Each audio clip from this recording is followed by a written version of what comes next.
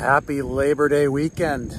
I'm in Newport, Rhode Island. Took the last flight out of San Francisco yesterday to Boston. So that means that my diet here over the next couple days while the 49ers are off will consist of chowder and lobster rolls. Anyway, 49ers update for you. Not much of one. We've got a lot of rehashed news out there.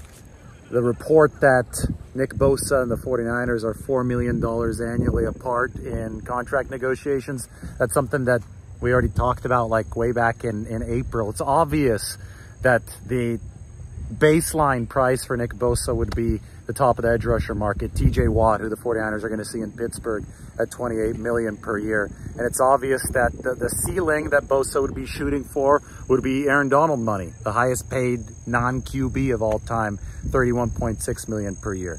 49ers and Bosa have to find a way to bridge the gap. That is not breaking news. We're at the point of this where it's just getting tiring. Same stuff repeated over and over and over again. But uh, this is new. This, I mean, it's it's awesome out here. Perfect time of the year to come out to New England.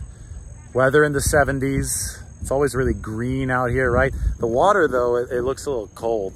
Maybe maybe I do try to swim. I think there's a little bit too much boat traffic here. And you've got lighthouses everywhere. But most of all, you've got the best lobster rolls in the world. And between Boston, between here, between Maine, New Hampshire, we'll be in all those spots. This is kind of a return to my old stomping grounds. After college, I came out to Boston for, for a little while. Um, it really is cool. Talk a little bit about the Steelers. I, I mentioned TJ Watt. The 49ers will obviously see him. Uh, the offensive side of the ball seems to have improved for the Steelers, at least if we're uh, to judge uh, based off of the preseason, right? There was five straight drives for touchdowns by Kenny Pickett, who is a, who's an athletic quarterback.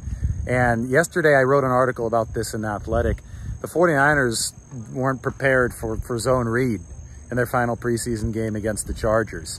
Kenny Pickett was, uh, Kenny Pickett will be able to run zone read and he'll be able to test the 49ers readiness schematically against it.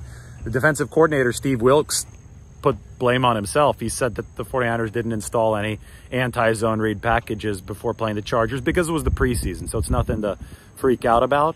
But he said that he expects opponents to try to test that fracture point against the 49ers. And Kenny Pickett definitely athletic enough to give the 49ers some trouble in zone read. And then you say Najee Harris, you know, the running back out of Antioch, East Bay guy. Jim Harbaugh went to recruit him. I ran into Jim Harbaugh at Antioch High School back when Najee Harris was a senior there before he went to Alabama. Uh, he, he's a back that's versatile that could give the 49ers some trouble. And then you've obviously got three wideouts who can do some damage.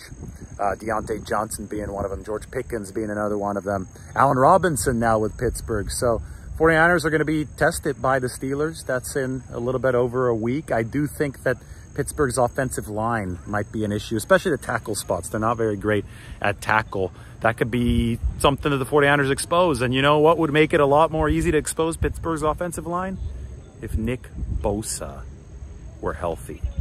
That's key for the 49ers, very obviously. Other side of the football, Pittsburgh always seems to play decent defense under Mike Tomlin, but if the 49ers are healthy offensively, they've got too many eligibles to cover, right? That was the case last year. They're healthy. I don't know if there's an NFL team slowing the 49ers down.